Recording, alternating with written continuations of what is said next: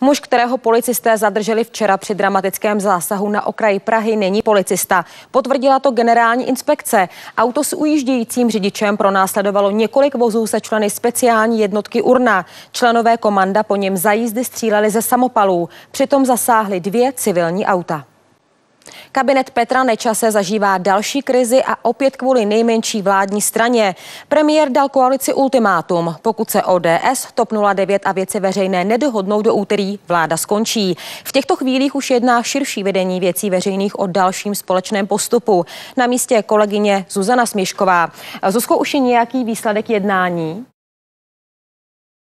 Vláda Petra Nečase řeší už desátou krizi, ve které figurují věci veřejné. V průměru je to tedy jedna krize každé dva měsíce.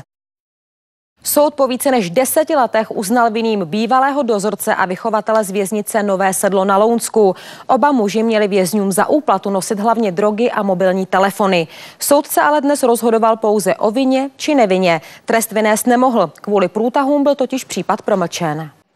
Policisté v Uherském hradišti vyšetřují poničení venkovního bazénu na tamním koupališti. Zatím neznámý vandal tam na několika místech rozrezal speciální folii, která pokrývá dno bazénu. A před námi jsou teď rychlé zprávy ze světa a z domova. Slovenský prezident jmenoval novou vládu premiéra Roberta Fica a jeho sociálně demokratického smeru.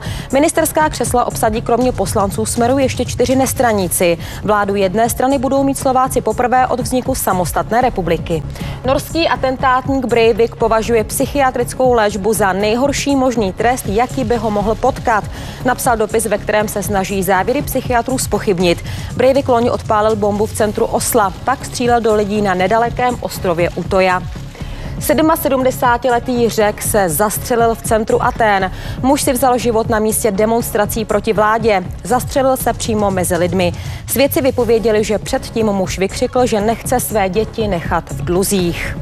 Výtvarník Romantýz jde v květnu znovu před soud. Jsou to přitom sotva dva týdny, co opustil brány věznice, ve které strávil měsíc kvůli výměně skel na semaforech. Státní zástupce ho teď obžaloval z útoku na veřejného činitele, protože se den před nástupem do vězení dostal do potyčky se strážníky. Týcovi proto hrozí, že se bude muset za mříže vrátit. Šest policistů, kteří jako první začali vyšetřovat nehodu lobbysty Romana Janouška, čeká kázeňské řízení. Vedení pražské policie usoudilo, že tito muži pochybili a chce je potrestat. Teď záleží na tom, jak jejich postup zhodnotí generální inspekce. Policisté mohou přijít o část platu nebo i o zaměstnání. Hned dva velké požáry způsobily během dneška špatně zabezpečené pro pan butanové lahve. V Brně dokonce kvůli tomu uhořela 63-letá žena.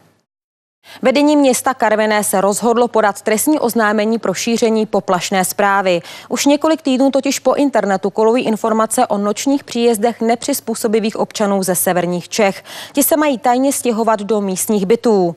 Podle úředníků jsou to však nepravdivé informace.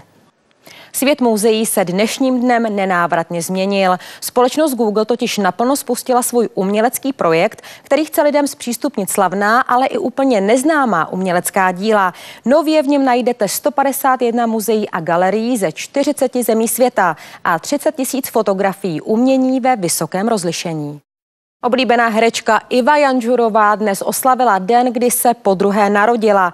Dnes je tomu přesně 10 let, kdy přežila velmi nepříjemnou nehodu. Spadla na ní kulisa. Více už náš reportér Tomáš Kraus. Naprosto úžasná dáma, klobouk dolů. A ještě jedna zpráva z našeho webu. Už za pár dnů vyjede na české silnice auto, které bude pomocí speciálních laserů a kamer zjišťovat míru poškození silnic a tím zlevní a zrychlí jejich opravy. Jak vůz za 30 milionů korun vypadá a co všechno umí, tak to najdete na webu TNCZ. A to už je z dnešních nočních televizních novin všechno. Těším se na viděnou opět zítra. Pěkný večer.